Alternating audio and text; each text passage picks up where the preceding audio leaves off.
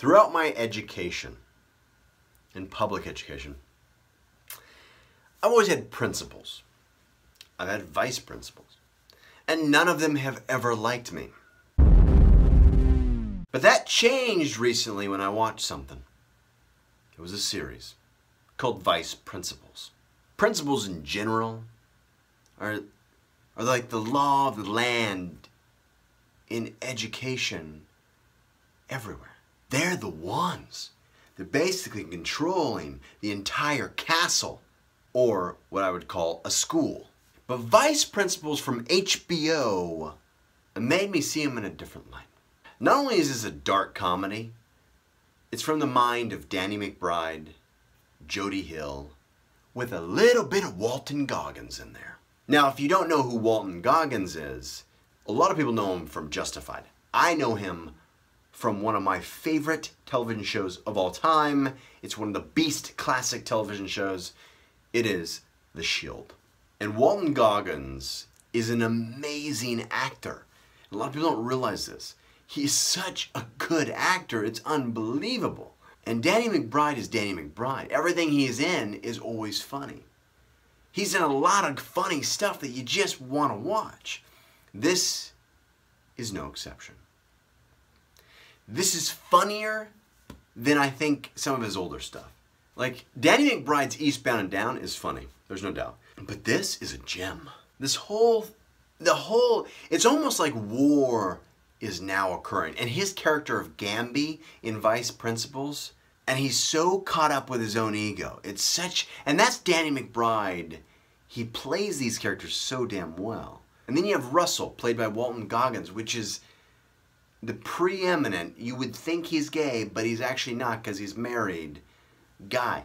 And Walton Goggins played him so well. He's a pussy on the exterior, but he's so cunning and ruthless inside. He wants to see people burn. And I love that type of character because that reminds me of me a little bit. Just like that much. You burn me once, your house is going to be burned down. You burn me twice, well, I'm going to watch your whole life fall apart. And I'm going to take part in it. you see, these characters merging together, forming a team to knock out the new principal because the old principal retired. That they, it was such a quick scene with Bill Murray, which was awesome to see him in this. He might have died. I don't. I don't know because I remember. I think I was doing something because it was the first episode, so I wasn't really.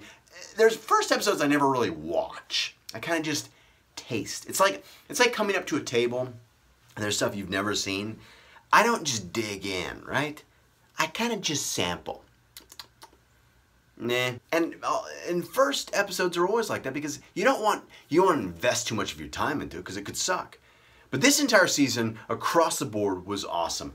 Every beat worked and it really it was a growth of both characters, whether it was Gamby, whether it was Russell, whether it was the actual principal that came in. She's this just unbelievable principal with all this background. She comes in and knocks out the ballpark. And I don't know who that actress is, but she killed it in this. And I'm telling you, they're always trying, they burn her house down. They do all kinds of crazy shit in the name of comedy, trying to ruin her life. And I'm not going to ruin the end for you.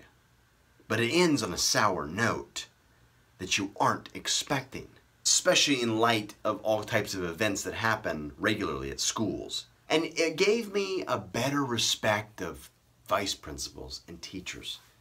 Knowing that teachers are sleeping with each other, giving BJs in back rooms. First, I've, I've always thought that teachers were basically mindless zombies out to destroy a kid's life. This series makes you realize that maybe that's not it. Maybe that time when you caught Mr. John and Miss Harris in the locker room I know that they told you that they were missing stuff and they were looking for something that was stolen, but you know what? I know for a fact that I remember seeing Mrs. Harris's, her shirt was untucked. And I knew what had gone on because he had lipstick, just a little bit. They were boning in there. And I think they were boning, I'm going to be honest, on that towel that I threw to Josh. I threw it to him because it was sitting there. There was something on it. I just chucked it at him. He used it to dry off. I don't know. He didn't have a towel. I had mine. I always, I always carried my towel with me because no one's going to do anything to my towel. Okay? You need protection in that. But I'm just saying, it gave me a new realization now that those teachers are dirty mother. They are sleeping with each other. They're partying. They're crazy. They're burning people's houses down. Had I watched this when I was a kid in public education, I probably would have ceased screwing with them at, at all costs. And I would have been an unbelievable D student at that point. Bottom line, go check it out. Vice Principals on HBO. It's an 8 out of 10 for me. I really enjoyed it. It was, it was a great series all the way through, and I'm excited to see the second season. If you've seen Vice Principals, let me know in the comments. I'm, a, I'm interested to see how many people are actually watching this show.